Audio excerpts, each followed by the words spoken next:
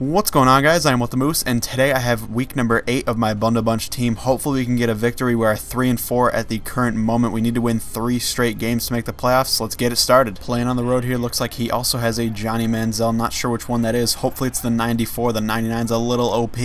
That would not be fun for us to play against. Let's hopefully bring him down. Nice tackle. Second and seven, we got to keep, you know, the defensive firepower up. We cannot be, you know, having bad plays, and he's getting a big gain over the middle there bringing him down, but nice snag for Demaryius Thomas. First and 10 here. Just notice he has DeMarco Murray as his running back. Hopefully that's not the 99 version. He's picking up another first down, though, with Heath Miller there. Looks like my opponent's coming out with four wide receivers and a tight end, so he's definitely going deep on this one. That's for sure. Or he's just going to be scrambling with Johnny. Not sure what he's throwing here. And he's going to be somehow finding somebody. T.Y. Hill in an open space, and he's down to the 8, it looks like. Oh, my goodness my defense has come out and just crapped itself, to be frank. I mean, they haven't done anything of, of note, really. And again, looks like he might be in the end zone. He is not. Why, he came out at the last second, but he's still on the one-yard line. Just going to send a huge blitz up the middle. Hopefully this works out. He's definitely going to be running it, and he will be in the end zone. That was a ridiculously good drive for my opponent. Defense couldn't do anything, and he's on the board first. To say that was a bad drive would be an understatement. That was absolutely pitiful. Defense did absolutely nothing, you know, at all, highly to speak of. And CJ's picking up looks like five or four on that one. Third and three, need a first down early on here. Cannot be in a fourth down situation, and Tyler Eifert's picking it up, and he's getting a few extra with the yak. Nine yards total. I want to make sure I at least get down the field and get some points on the board this drive. It's very important to me, and CJ's not picking up much on that one. Trying the triple option here. It's a staple of my offense, and it's hopefully going to be working out for me here. Johnny, we got to get outside. Cannot get there, and we do not pick up a first. Third and inches. Just going to smash it up the middle with CJ. Hopefully he can pick up the first. He can. Getting a few extra on the ground as well.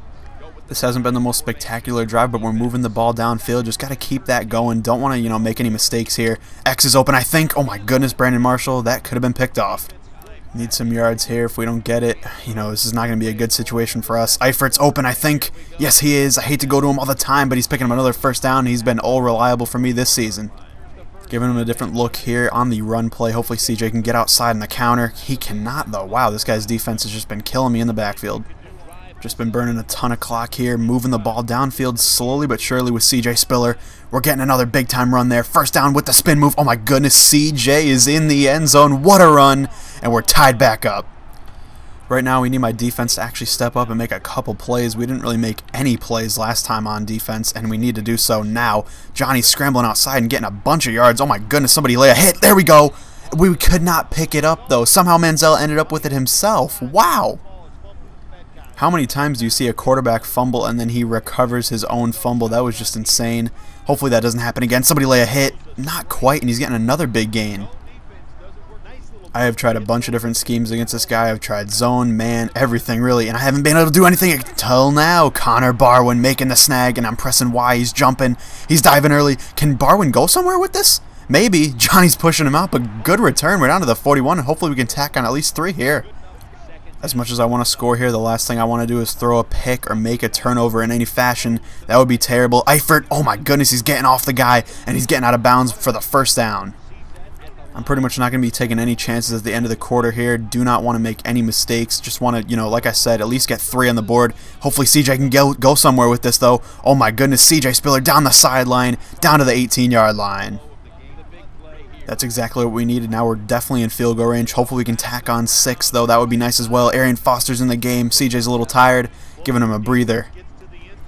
CJ Spiller once again, we're handing it off to him. Hopefully he can get outside. He's got a lane. He's got some room. Truck him. He cannot, but he's getting out of bounds at the two-yard line. Let's go. Arian Foster in the ball game once again. Hopefully he can punch it up the gut. Yes, he can. We're in the end zone with just nine seconds to go in the half. Great end zone score from me right there. My opponent wasn't able to do anything with the 9 seconds he had left in the half, and we are taking over here to start the second half. Hopefully we can get another score on the board and go up by a good amount here. Arian Foster again outside, but really losing a couple yards on that one. Third and 12 here, and need to pick up the first down. That would be nice. To Eifert's open over the middle. Can he hold on to it? Yes, he can. I knew that streak route would work, and he's hauling in another first down. Going back to the triple option. Hopefully it works out for us in the end. Johnny looks like he's breaking free. Hopefully don't fumble. Yes, he does not. Let's go. And he's picking up a first.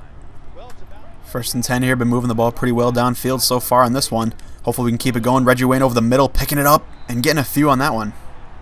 Looking for a first down here with CJ going to be running out to the right. Looks like he will be picking it up and a few more. Looks like Stutter Step cannot kill Sean Taylor with that, but he's over 100 yards now.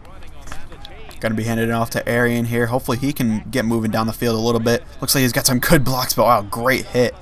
And uh, only picking up four on that one. Second and six here. We're going to go through the air. Not much of a pass here, but hopefully we can pick up the first. Dez Bryant picking it up, getting his first catch of the game. You guys have probably noticed with my play calling so far this game that I've been pretty conservative. Really don't want to throw it too deep or anything. Don't want to make any mistakes. We're going to be running on third down here. If we can pick up a first, that's great. If not, we'll take our three. Arian Foster working through some yardage, but we'll still take our three points. I'm glad we got three points on this one. We're going to be up by two scores with about two minutes to go in the entire game. Looking good on this one. Hopefully we can, uh, you know, finish this game out. Just about two minutes to go, and we're up by 10 points. That's a solid lead, but we cannot let him score quick. If he scores quick, he's got a very good chance. So if he scores at all, and oh my goodness, Derek Cox out of nowhere is picking this one off. Was not expecting that whatsoever as we hit the two-minute warning, and that's going to help us out a lot. And he might be quitting here as well.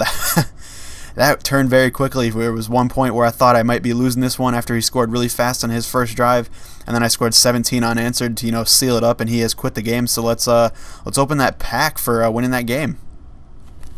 Alright guys, we needed that victory and we got it. I'm very, very happy. I'm pretty pumped to be honest that we got that victory. It wasn't, you know, a statement win or anything like that, but our defense came out, made a few good plays after a terrible first drive to be frank.